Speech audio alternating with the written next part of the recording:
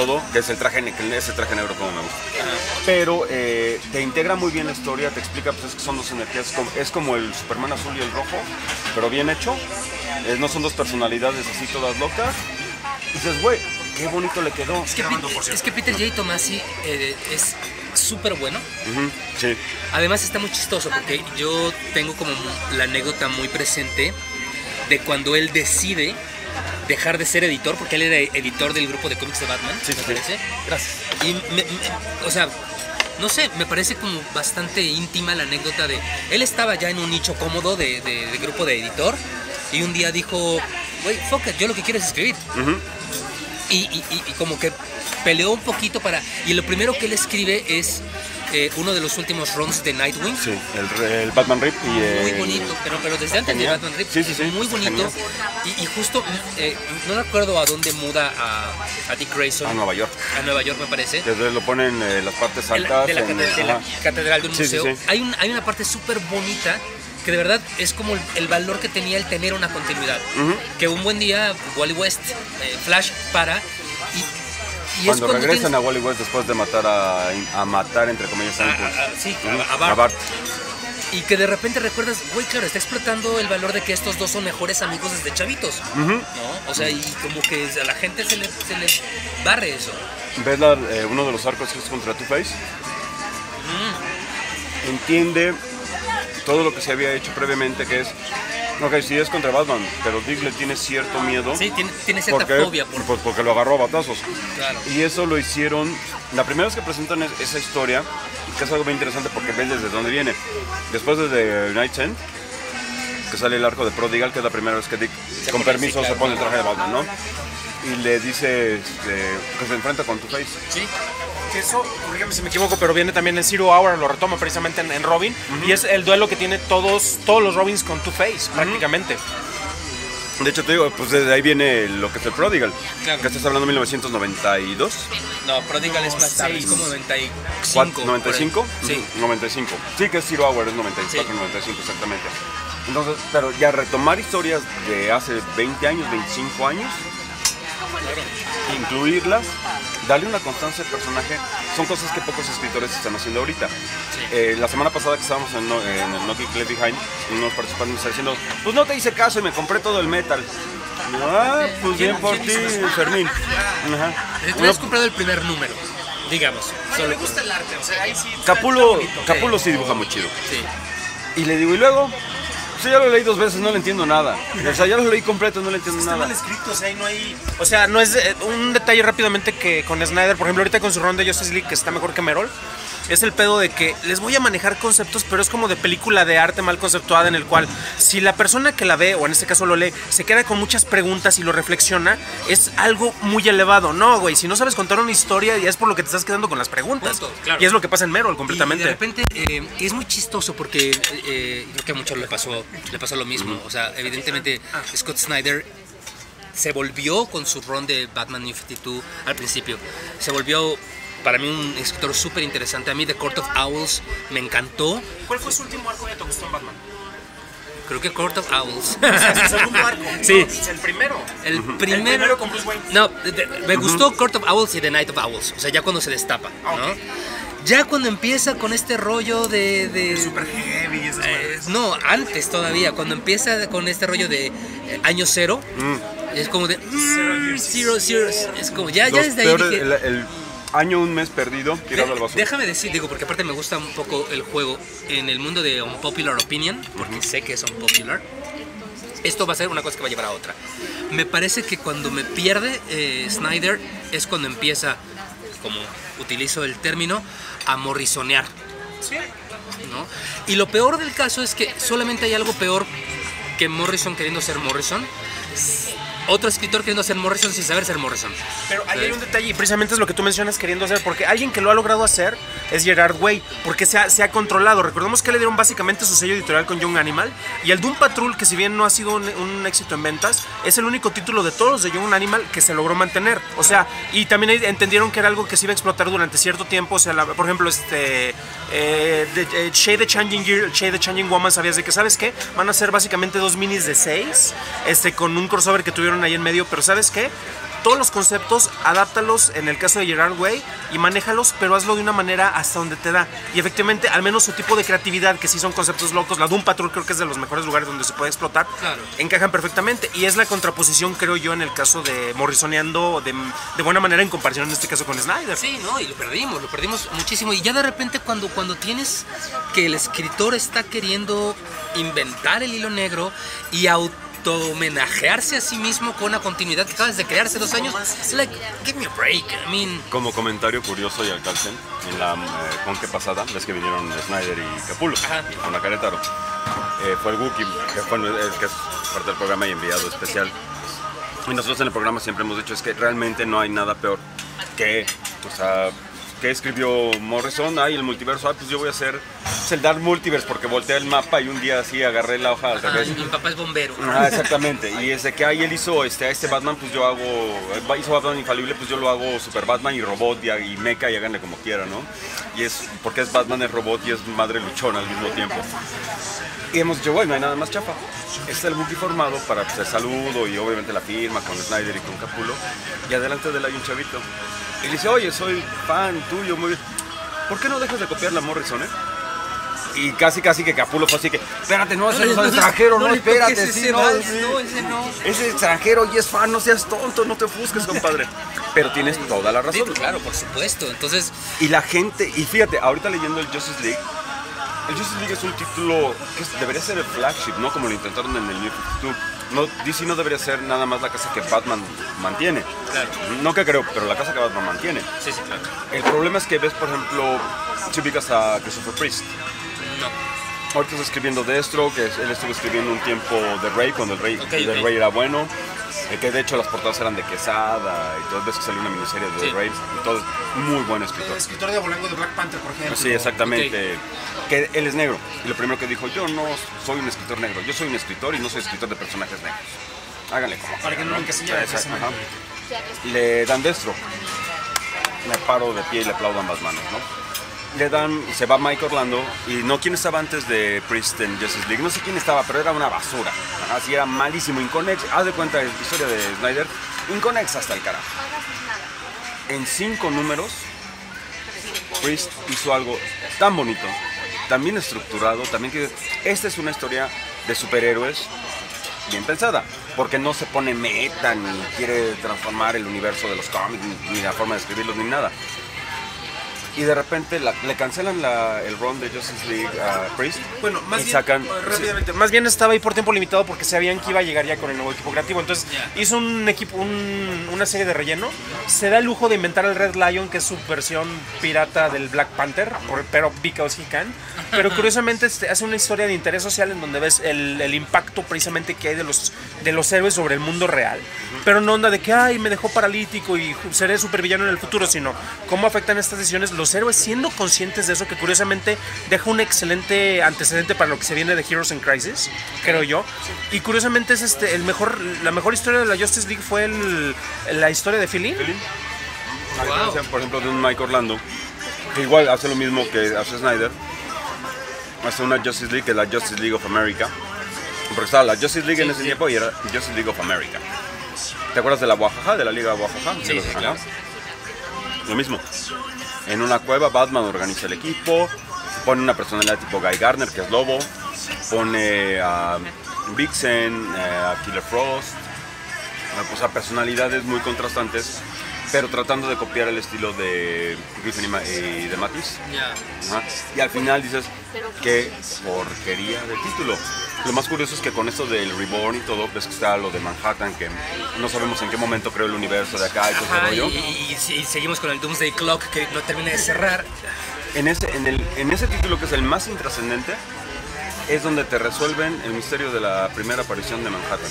Porque lo ponen en un universo subatómico, como que hicieron en el Reborn, dándole las pistas que se va Red Palmer a ese universo, lo van a buscar y dice es que se está rompiendo este universo a nivel cuántico desde que vimos que llegó una mano azul.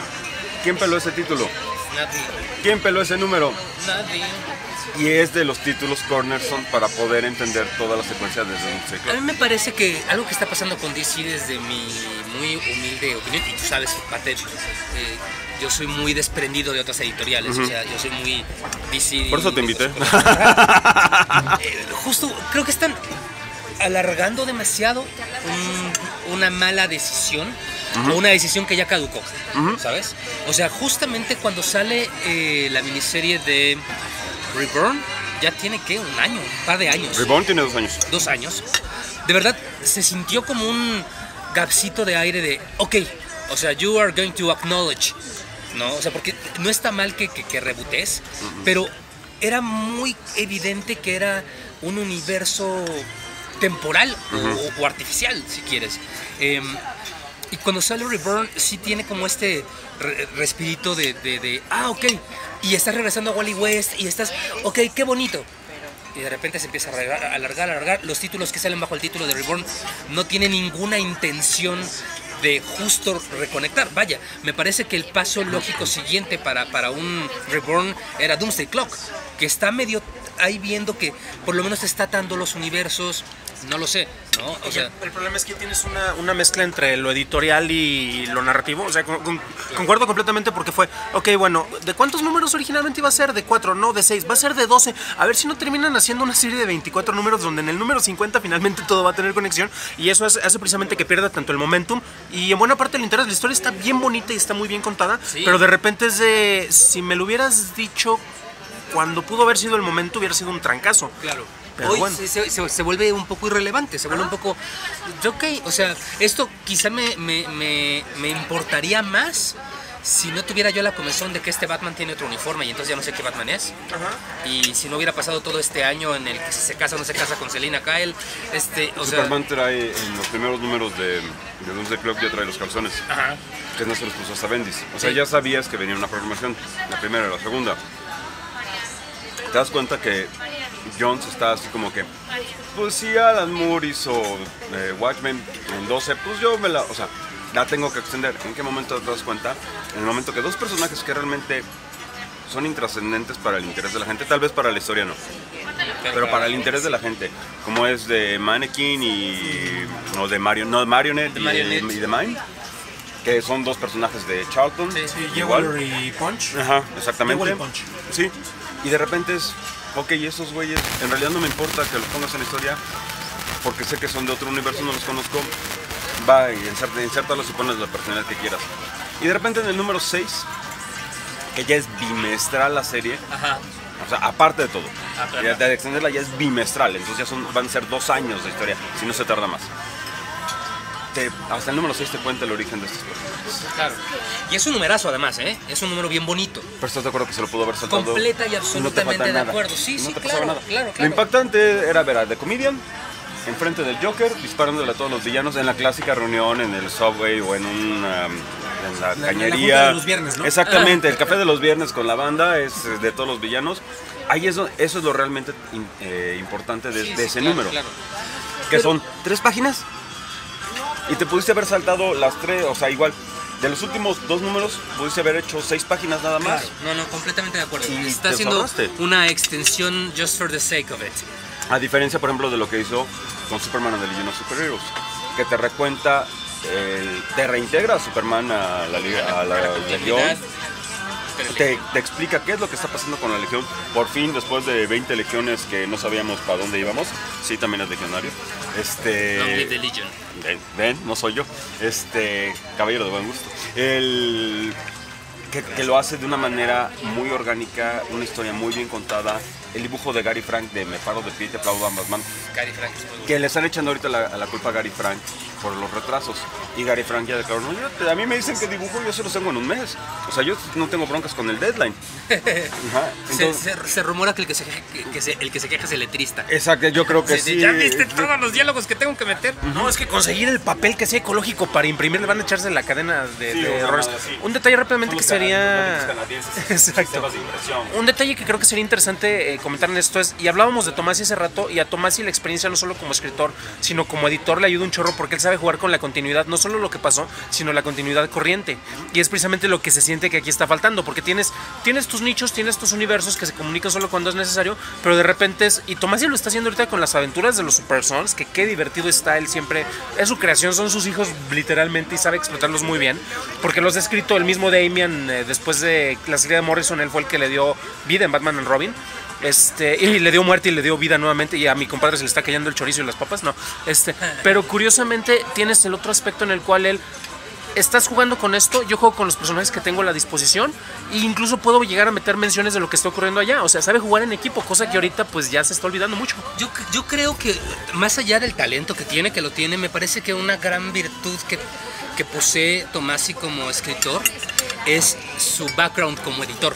O sea, justamente esta eh, capacidad de estructuración, de macroestructuración, de poder saber los timings, en dónde está parada cada, cada pieza, cada, cada línea editorial, cada, cada parte del timeline, me parece que eso lo maneja eh, absolutamente bien en, en- en- en su, en su chamba como escritor. Es un escritor carente de egoísmo. Exactamente. Porque sí voltea a ver qué están haciendo los demás, respeta el trabajo de los demás y no trata de negarlo en sus historias. Trata, como bien dices tú, trata de integrarlo. Y eso es un tema que creo que deberíamos tener en cuenta todos porque no aplica nada más al mundo de los cómics. Eh, yo de repente en las, en las charlas o clases que, que me toca dar acerca de creatividad publicitaria, digital, X, eh, algo que, le digo mucho a, sobre todo cuando me toca hablar a nivel licenciatura, que de repente me gusta más hablar con gente más joven que cuando me toca dar en posgrados me gusta siempre decir que una de las eh, cualidades que necesita tener una persona creativa es la generosidad. O sea, el, el- el- crear a partir de sumar.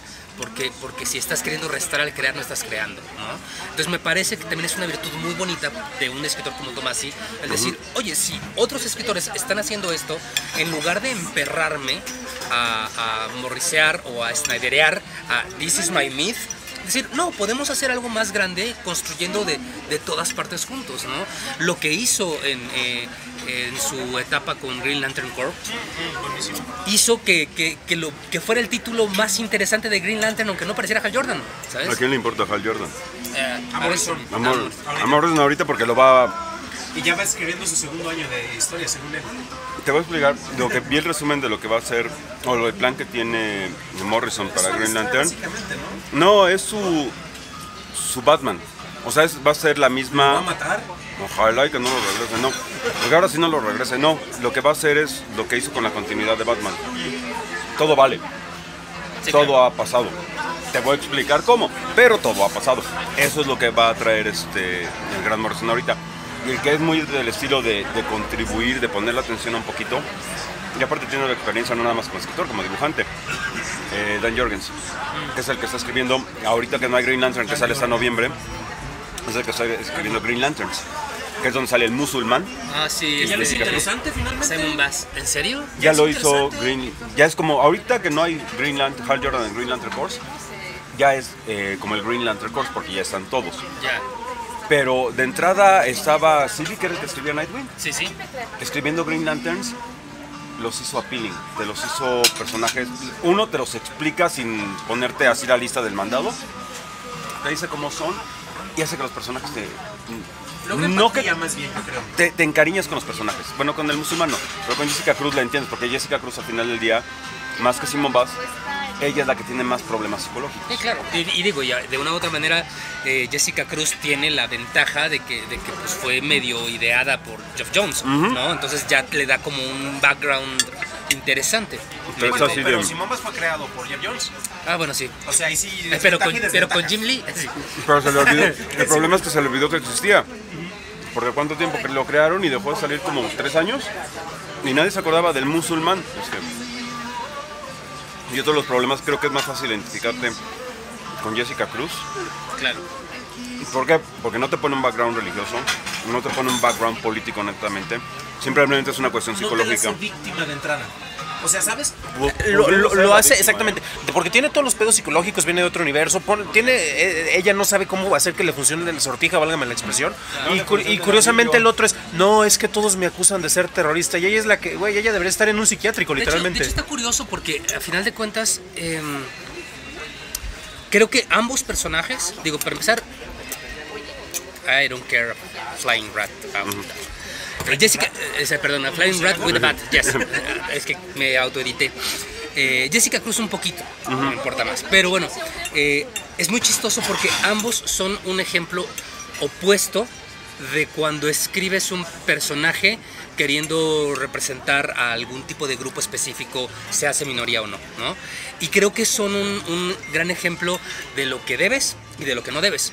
Porque a final de cuentas, Simon Bass, para empezar, es el musulmán, ¿sabes? Y pareciera que lo que es importante de él es que es musulmán y que se viste como luchador. Y que carga una, Y que carga una fuego. pistola. Y como dices, su, su manifiesto como personaje es, ah, todo el mundo me, me, me, me acusa de ser terrorista. Y, y como partes a partir de ahí, es lo que me hace que se sienta forzado. Y rápidamente. Curiosamente, en contraposición tienes el personaje de Kamala, que también es musulmán, de Kamala Khan, eh, Miss Marvel. Y sobre ella lo que te importa, ella era un- una fangirl de Miss Marvel que adquiere poderes. Ah, y por cierto, también es musulmana. Es, lo que, es, por ejemplo, lo que iba con Jessica Cruz. Jessica Cruz es mujer y es latina. Y en ningún momento te construyen el personaje a partir de ninguna de esas dos cosas. She's twisted. ¿Por qué? Porque tiene este rollo de que fue, este, tenía agorafobia, luego tenía el, sí, claro, ¿no? O sea, y eso es lo que la hace interesante. El tema de que sea mujer y de que sea latina, pues va a representar y va a pintar en algún momento de la historia, pero this is not what she's about, ¿no? Y creo que ese es dos ejemplos muy opuestos Total. de cómo deberías abordar ese tipo de cosas. Que yo creo que es uno de los problemas más grandes que enfrenta la industria hoy en día. Y que es como que su manera de querer darle más a la gente o a más gente, que al mismo tiempo están cavando su propia tumba. Claro. ¿Por qué? Porque no me interesa tanto contarte buenas historias o desarrollarte buenos personajes. Lo que me interesa es que te identifiques. Si eres gay, te voy a dar un personaje gay o voy a convertir un personaje de abolengo y tradición Bobby. Bobby Drake, que es Iceman, te voy a hacer gay. En otra realidad, pero tu realidad del presente no sa- te lo complica demasiado.